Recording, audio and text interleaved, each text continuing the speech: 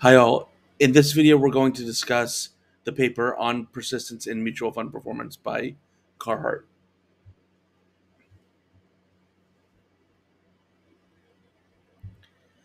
So, what is the research question? Over the past several decades, the concept of mutual fund persistence has been well documented in the finance literature, but not well explained.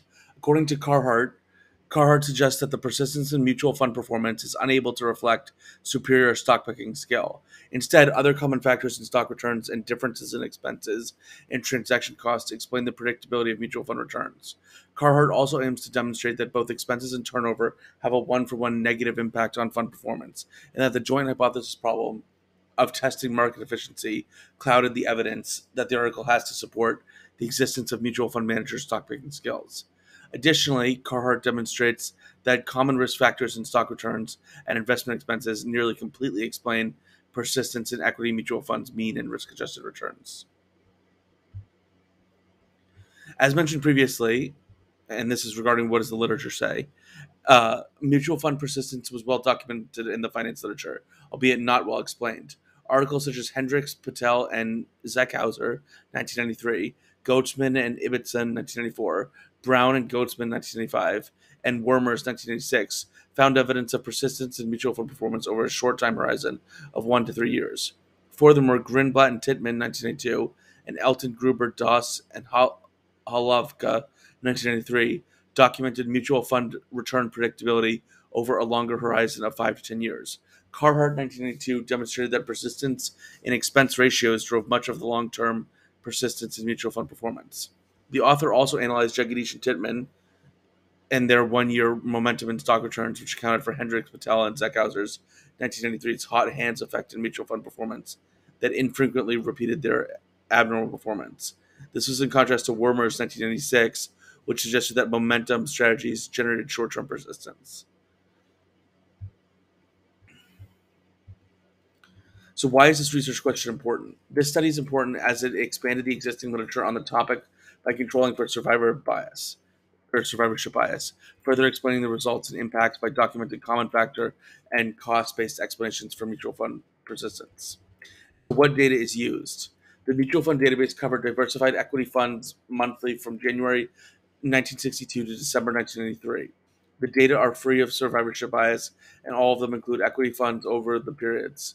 The data were obtained through surviving funds from MicroPal slash investment company data ICDI. For other non-surviving funds, data were collected from FundScope magazine, United Babson reports, Wiesenberger Investment Comparisons, and the Wall Street Journal. Table 1 reports the summary statistics on the mutual fund data.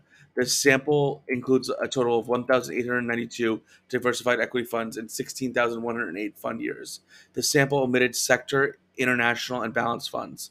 The remaining funds were equally divided among aggressive and long term growth and growth and income categories. The author compared his findings to the other literature and discovered that survivorship bias is an important issue in mutual fund research. The author's dataset migrated or mitigated problems such as procedure biases as he obtained monthly total returns from multiple sources. This table reports the time series average of annual cross section averages from 1962 to 1963. TNA is total net assets. Flow is the percentage change in total net assets adjusted for investment return and mutual fund mergers. Expen- EXP ratio is the total annual management and the administrative expenses, which are divided by the average total net assets.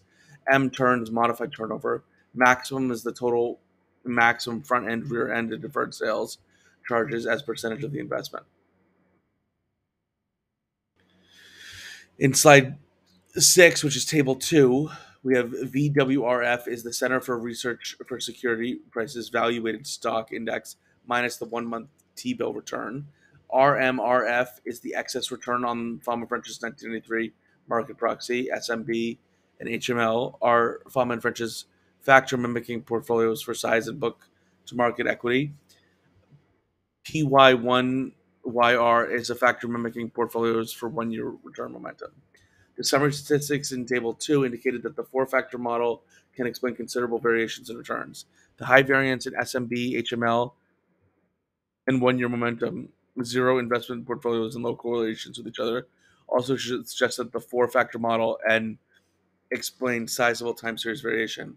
The high means returns on the on the above also suggest that these three factors could account for cross-sectional variations in the mean return of stock portfolios.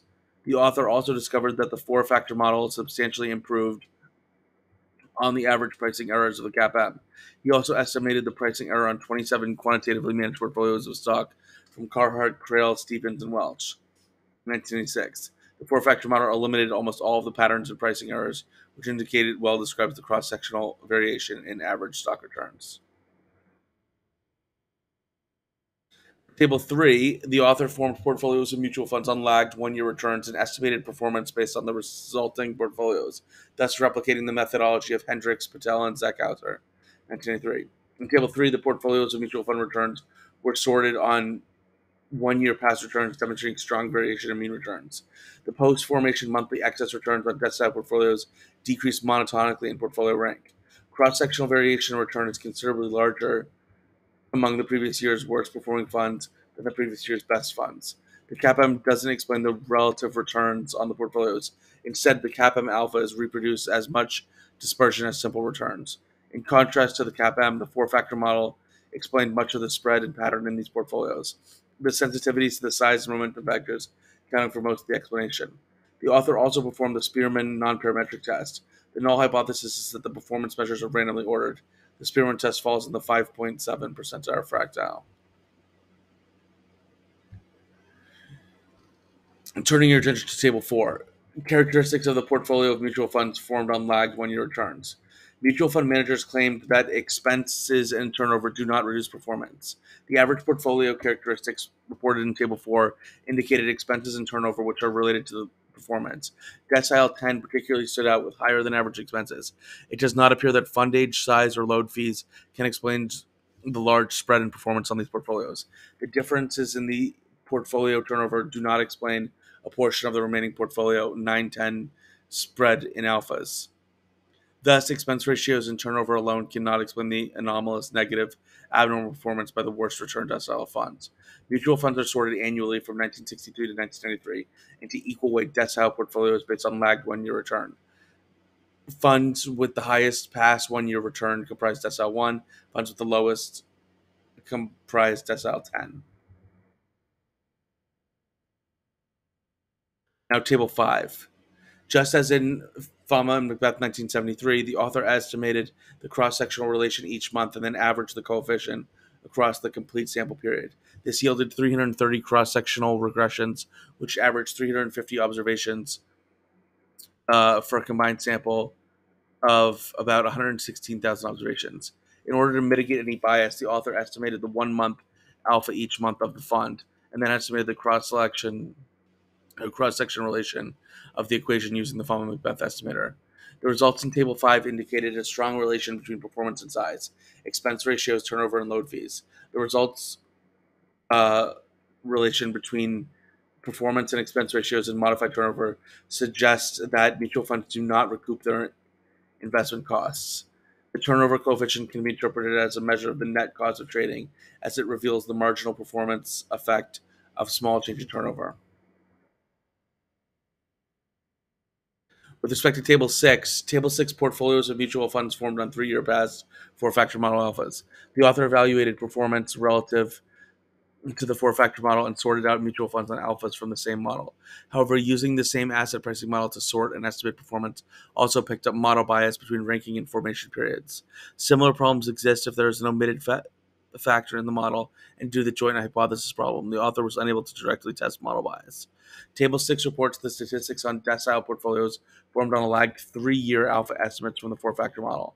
The sorting on the four factor model does not achieve as large in spread and mean return as one year past returns, but it does identify firms with larger positive and negative abnormal performance relative to the four factor model. And so that concludes this video. I hope you all found it helpful, and I look forward to seeing you in the next video.